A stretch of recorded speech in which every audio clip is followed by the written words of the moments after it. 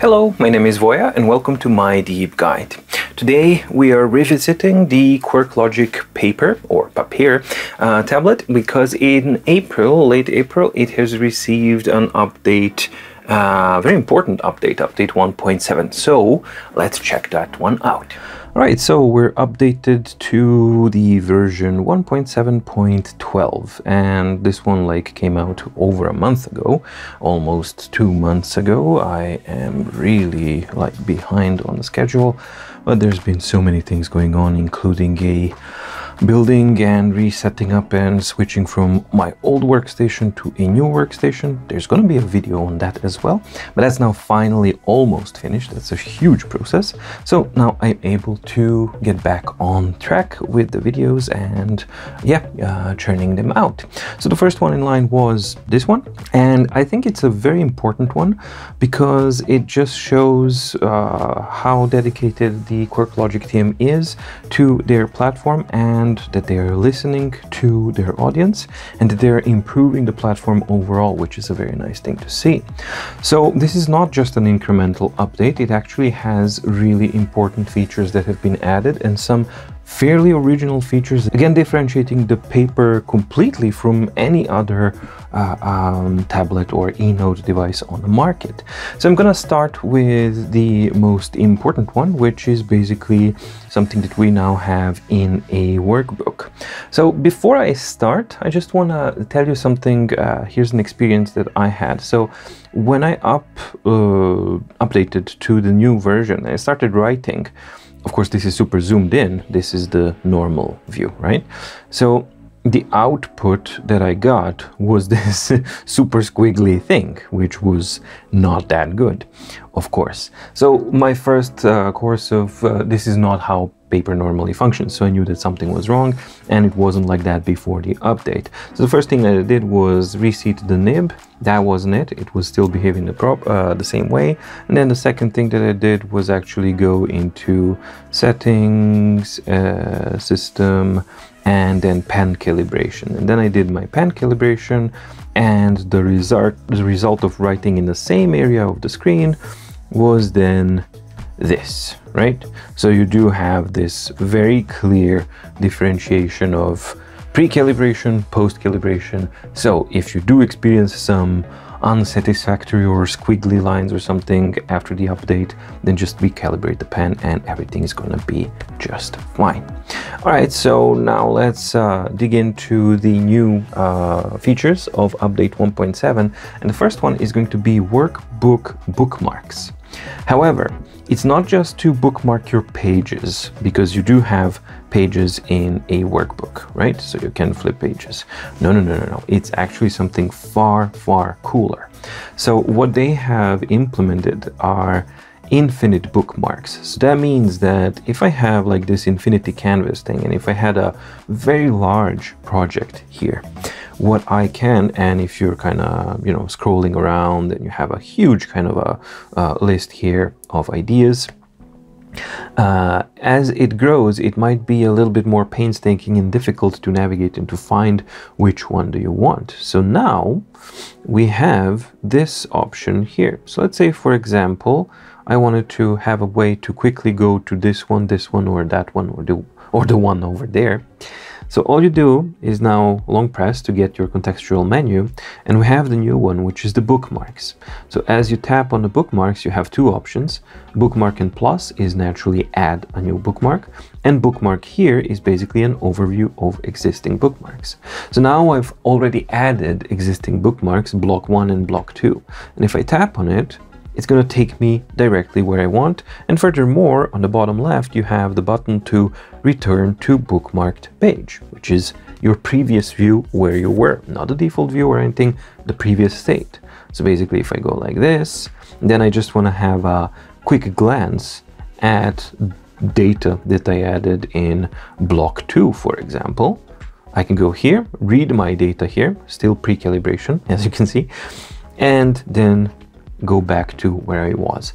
Same uh, zoom level, same orientation, same state. This is incredibly good and super useful. It's just like I, I can't even begin to describe how cool this in this thing is and how cool it is that they've implemented it this way. So how do you add a new bookmark? It's also really simple. Long press, contextual menu, bookmarks, add a new bookmark. And then you can get rid of this one, which is saying, hey, now I'm in bookmark mode. Uh, but all you need to do is now circle with the pen which area you want to bookmark and then you name it. So let's say I want to name it block 3, whatever it may be, right?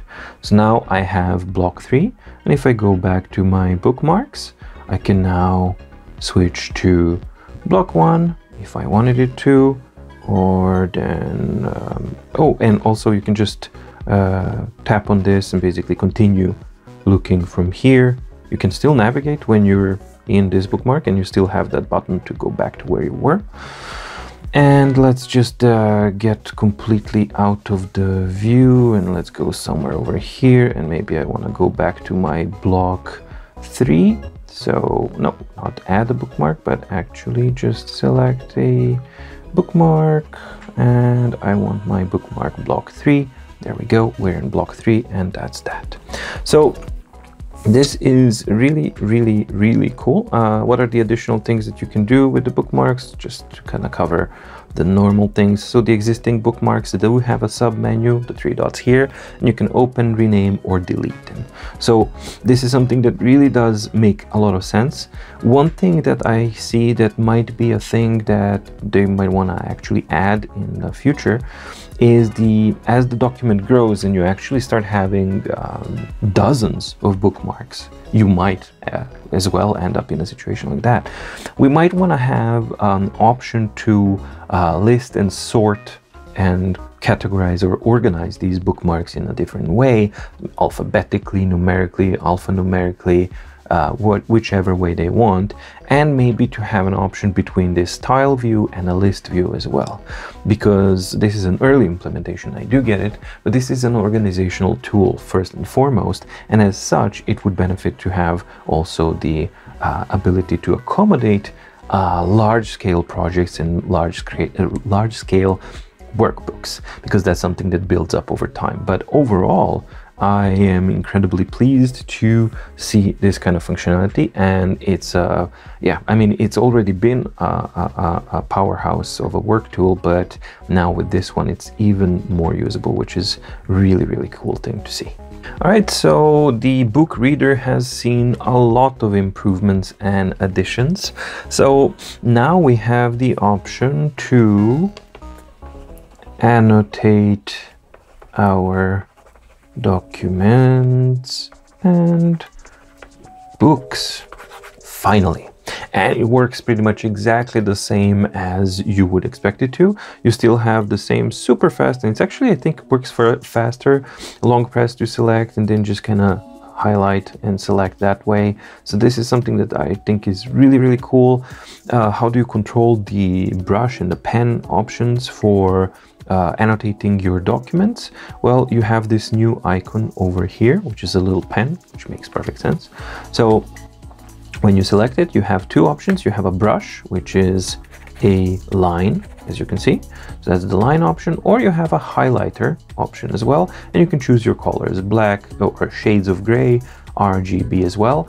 And also we have undo and redo levels, which is a nice thing. So this is a highlighter, which how do you control the color of the highlighter? Because this is going to be yellow. I can already see in the grayscale that this is high.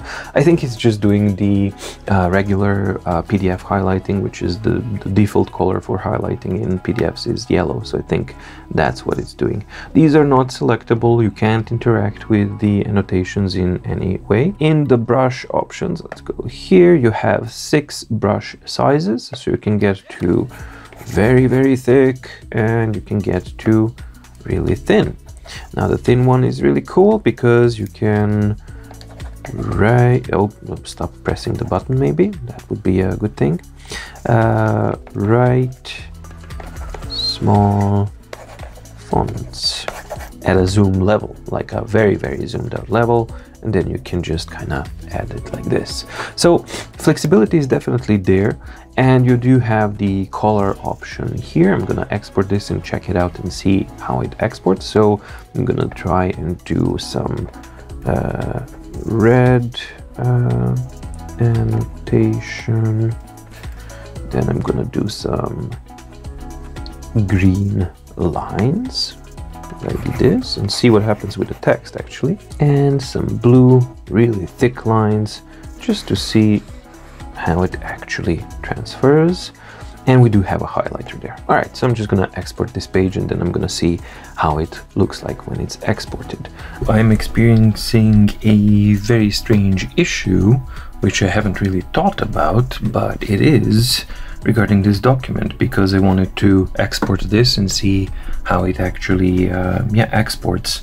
But um, where's the export option? I don't find the export option anywhere here. I can't really find it absolutely anywhere. And if I click on the three links or the three buttons down here I get rename open or delete. No exporting of any kind this one down here is just to download from uh, new documents from Google Drive or Dropbox. So that's not it. So then I plugged it in to my computer. Um, but yeah, I don't see it at all. It has been set up as a device, but as what kind of a device, I don't really know.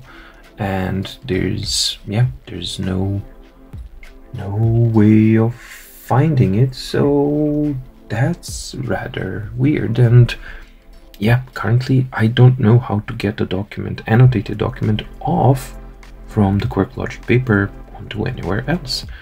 And that's not what you want.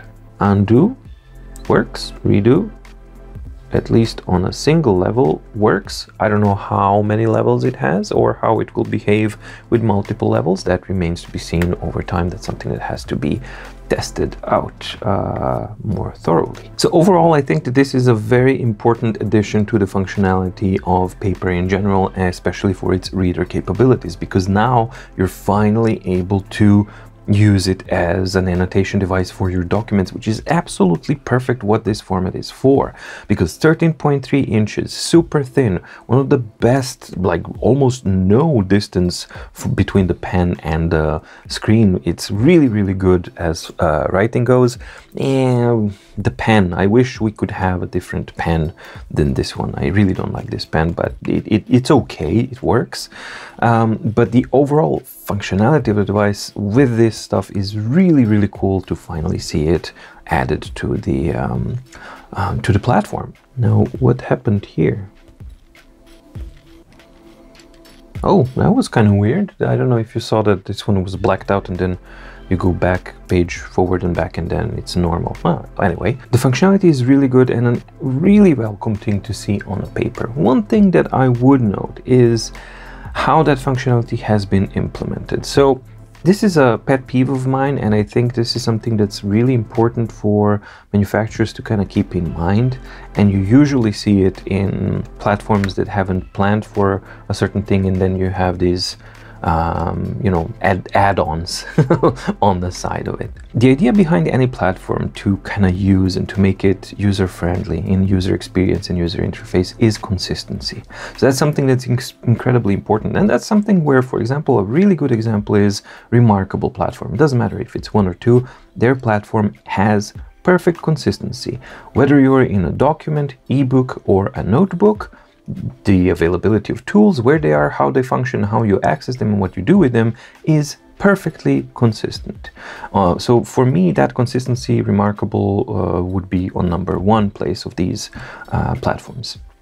Then you have Supernote, which has improved their functionality and they're like almost exactly the same. They just have some things that are still a little bit lacking. For example, the uh, marquee selection tool, it doesn't copy the, it doesn't share the clipboard between documents and notebooks as well.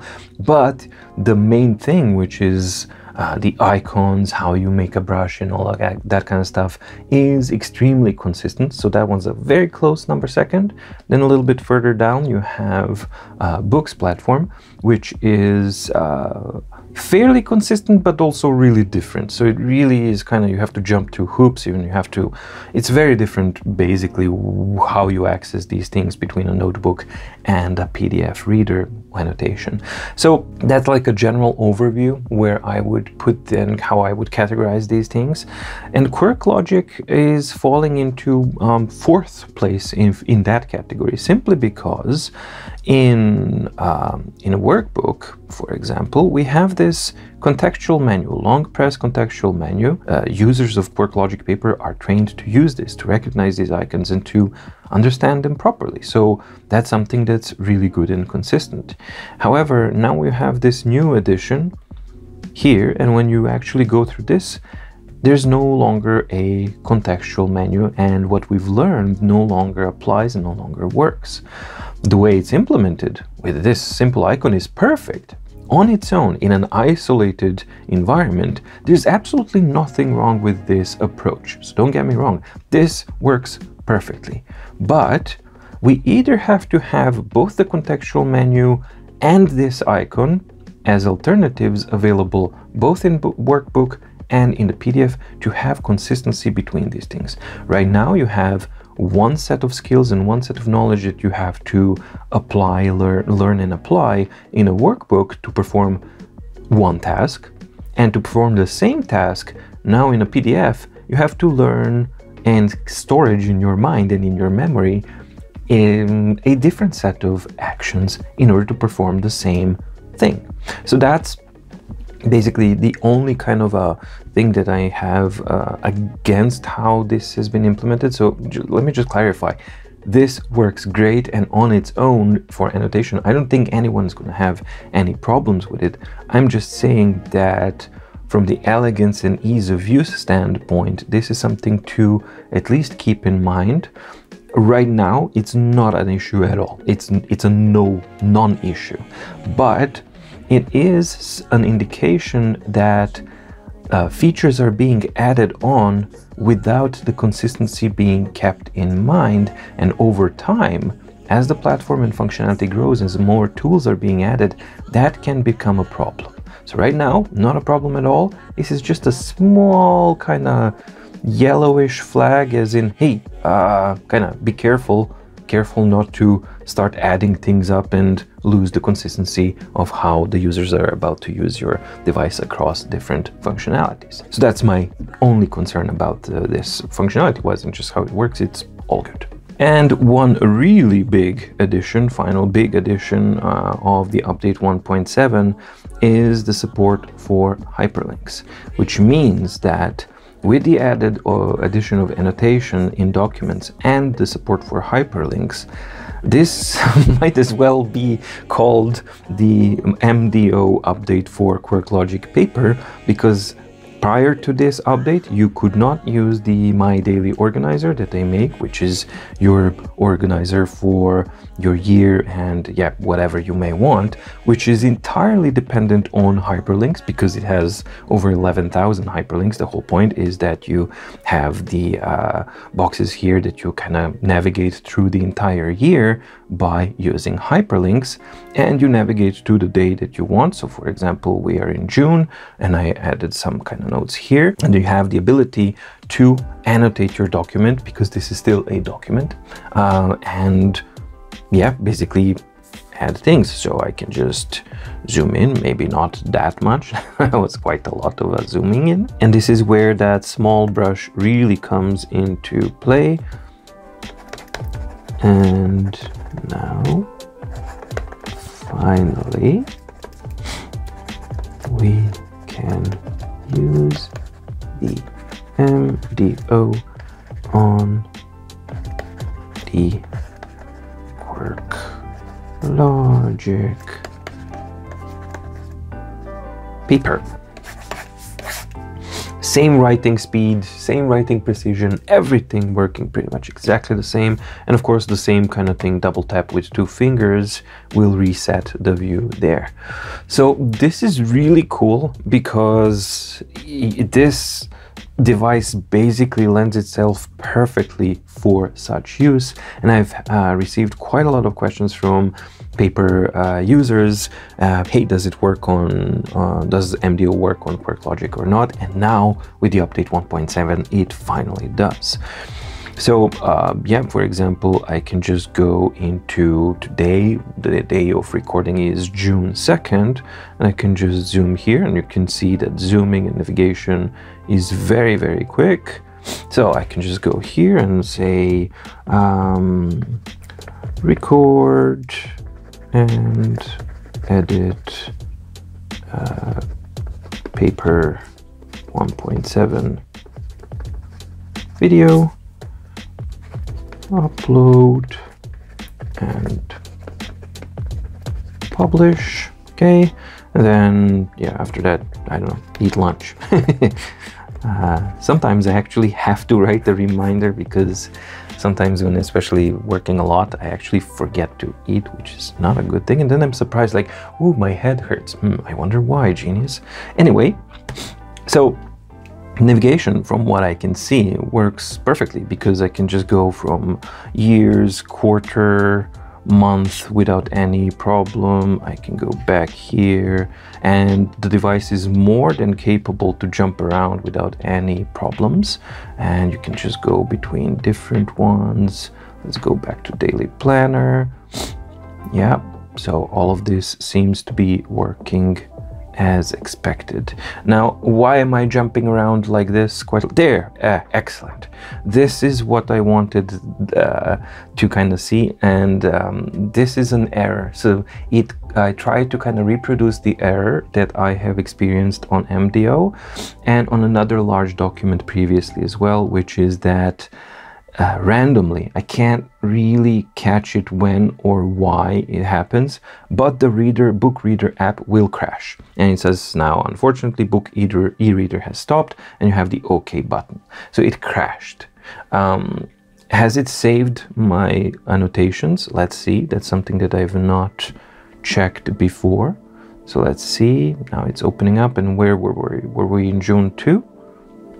Uh, eat lunch. Okay, so in this case, it had enough time to actually save all of the changes that I've done prior to crashing, but this is the third time that I've had it crash with the uh, My Daily Organizer, and the other document that I also tried was this one collected works of Carl Jung, which is a huge document, 10,844 pages. And you have this, this like huge amount of uh, bookmarks as well. So let it uh, kind of load. And the bookmarks are also links, uh, technically speaking. So yeah, this is a ginormous document, as you can see, for over 10,000 pages. And that one, of course, if I would navigate and do lots of things, it would also behave in the same way. So um, there is some kind of uh, instability going on and I've only experienced this with very large and very demanding documents. Now, uh, my daily organizer is not such a huge document as the other one because this one is only 1700 pages but it's still nearly 1800 pages. But it does have 11,000 uh, hyperlinks and it does have all of these bookmarks and everything like that and that makes it memory management wise a demanding document. So what I'm thinking is that there's some instability with how the book reader app is doing memory management and it might actually get overflowed and is not releasing the memory maybe properly but i'm just totally guessing here. I just know that that is usually the reason if you have uh, between the size and complexity of a document and the app actually start stopping that's the first thing that i would actually take a look at which would be the memory management. Other than that I've also had sessions where it didn't crash at all. So yeah, I don't know. Uh, take it with a grain of salt. The functionality of my daily organizer on QuirkLogic Papyr is all there. It actually all works, but the stability of the book reader is a little bit on the shaky side with larger documents and more complex documents and my daily organizer definitely falls into that category so you might have some stability issues on the QuirkLogic Papyr. One other thing that I would really like to see them add is that while we do have the ability to bookmark the documents right now, well this one is not bookmarked, but if I long press and select text, that becomes a bookmark. That's how it functions currently in the readers. But we don't have the ability to bookmark the uh, annotations.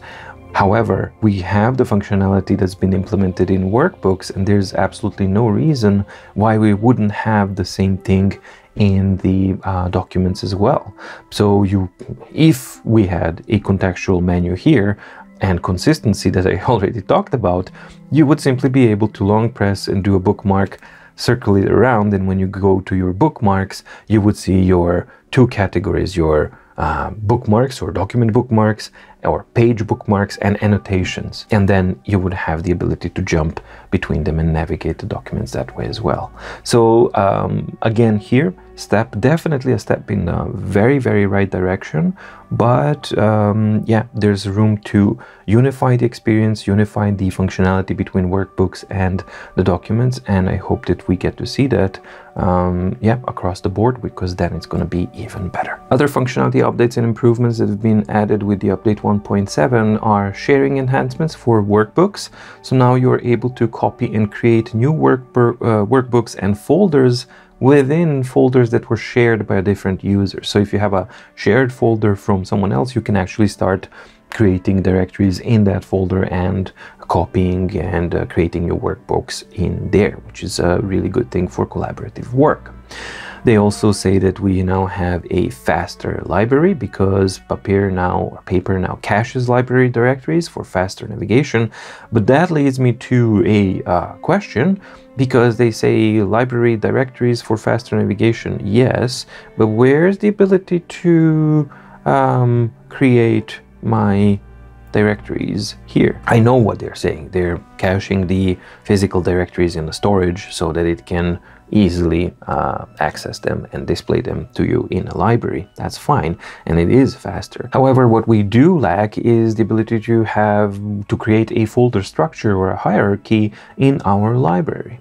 So that's something that's actually quite needed um, because we have that ability in workbook mode, but we don't have it in the PDF reader. Again, that inconsistency in user experience. So you should be able to have the same icon not the different one, the same icon we're using for a new folder, it should be down here. You click a folder, you create a folder, and then you have the ability to actually um, reposition and move and reorganize your library in such a way. Because while this is now small and I do have the option of having them as listed, which is all fine. But if you have a larger library, because now it's a functional reader and you have dozens of documents, well, you need an option to organize your library, and currently we don't have that. So that's something that I hope we see in some of the future updates. And we also have one new addition in workbooks, and that's this icon here, the little uh, lock icon here. So let's say that I am right about, uh, I don't know, here, and I want to, basically what it does is it locks the view so that you can't accidentally scale it or navigate away from it and you can still flip pages so you can still navigate your uh, workbook as you would, right? You just are locking it so that you don't have accidental scaling and basically palm rejection issues, which is great. That is great but it is not working as expected. It's called lock page view. And if it's a lock page view, it's not working as it should. Current functionality is that it resets the zoom level to default and then locks the page view. As you can see, click, resets the view, and then view locked, right? So that is akin to doing this and then locking, right? That is not the expected behavior. The expected behavior, if you're saying that it's a page lock, is that it retains the zoom and navigation in your workbook location and simply locks it. Because Presumably, that is what you might want to do, especially on an infinite canvas. So uh, right now, if I wanted to simply lock on this one and keep my workbook on this page on this level and flip through pages on this view, it's not possible because it will simply reset and go back. So that functionality is there, it's okay, but I think it's not behaving the way it should and the way you would expect a page lock to uh, actually function. In addition, uh, that kind of page lock functionality, when it works the same way that I described it, would also be a very good thing to have in the PDF reader because uh, maybe I would like to have a zoom level at this point, right? Like this for my PDF document. And I just want to lock the view and be able to swipe to the next page and keep the same locked view that way. However, we don't have that functionality. So that's something that's uh, kind of lacking and I wish that we would have that also in one of the future updates. It would make it even more usable. So, QuirkLogic Papyr update 1.7. What's it like? Well, I think it's an excellent progress and it finally makes uh, Papyr a functional reading device as well with the ability to annotate with the hyperlink functionality, with the highlighting functionality and all of these things. So it's really, really good and something that uh, Papyr uh, users have been waiting for for a very very long time so better late than never but this is definitely a little bit on the later side of things. So hopefully that's an indication that these things are gonna maybe pick up the pace a little bit in the future, which would be a nice thing because the quality of what is delivered is great, but the pace leaves a little bit to, well, a lot to be desired. What are the future improvements that I think that there's room for and that I would like to see on the uh, QuirkLogic Papyr platform? Well, basically the, the first thing I think is the instability of the book reader app when using larger and more complex documents. What I talked about with the My Daily Organizer and the uh, collection of the Carl Jung uh, uh documents. Granted, these are on the extreme end of things. But then again, you, in the case of my daily organizer, for example, that's a perfectly usable document that you would expect to use on this device, and it is functioning perfectly on other devices who are uh, lower specs or the same specs as the QuirkLogic Papyr device. So it's not up to the device, and you can see that it's navigating snappy super fast and it's able to do it perfectly. It's just that the app itself is having some issues, and my first guess would be to check the memory management of the uh, app itself. So that would be an improvement number one to actually kind of see. Annotation bookmarks, the, um, the bookmarking of annotations that we've seen on the introduced now in workbooks, which is really, really good and original, completely original way of doing things. I would love to see that on the PDF reader book app or book reader app as well. And then you would have your page bookmarks and annotation bookmarks and that would just make it super super functional. Unified functionality and workflow between workbooks and reader. That's the main thing that's currently lacking and I think that it would be useful to see this added in the future to kind of unify the functionality to, to kind of learn one set of tools and it works across the platform. That would be a good thing ability to create a folder hierarchy in the reader library currently completely lacking. We don't have any way of doing that and i think it's needed because the reader functionality is there and people will want to use it and will want to grow their library with documents. And when you have that option then you need organizational functions to actually allow the library to be functionally usable in any kind of scenario and finally, I think that the page lock that has been introduced on the workbooks uh, should function like a true lock, which means um, XY coordination in a document and the zoom level should be locked, not the reset and lock. And it would be helpful if that same, type of functionality was added in the Reader app as well, as I uh, demonstrated uh, previously. When you zoom, when you have a PDF of a slightly different format, you can zoom in to a comfortable um, layout and then just lock it and navigate through the document that way. That would be also extremely helpful. Right, so now with every pretty much every update that we see for the QuirkLogic Papyr, we can see that QuirkLogic is definitely listening to their customers and is dedicated and committed to their platform, which is a very, very nice thing to see because bigger companies actually don't show that level of commitment as we've seen recently on Kobo Elipsa, unfortunately. So this is a very cool thing to see and a positive move forward. I think that there's definitely other areas where the unification of the user interface and some of the functionalities can be definitely improved. But even as it is now, Quirks Logic Papyr is a far more capable and a far more powerful device than it ever was before. And for that alone, yeah, I heartily recommend the update 1.7 because it does give a breath of fresh air and fresh life into the QuirkLogic Papyr device. If you like the video, please like and subscribe and ding the notification bell down in the description below to get notified when new videos come out on my deep guide and there's plenty of new ones coming out soon. Also, in the description down below, you will see the link to Discord My Deep Guide server, which is a community that we're building to, um, yeah, with like-minded people with similar interests to share your techniques, experiences, tips, tricks, photos of pets, etc., etc. Also in the description down below, if you are interested in the My Daily Organizer, something that I've shown a little bit here in this video, then yeah, you can see the playlist which contains a lot of videos that will show you what My Daily Organizer is. And in short, My Daily Organizer is a fully hyperlinked interactive PDF document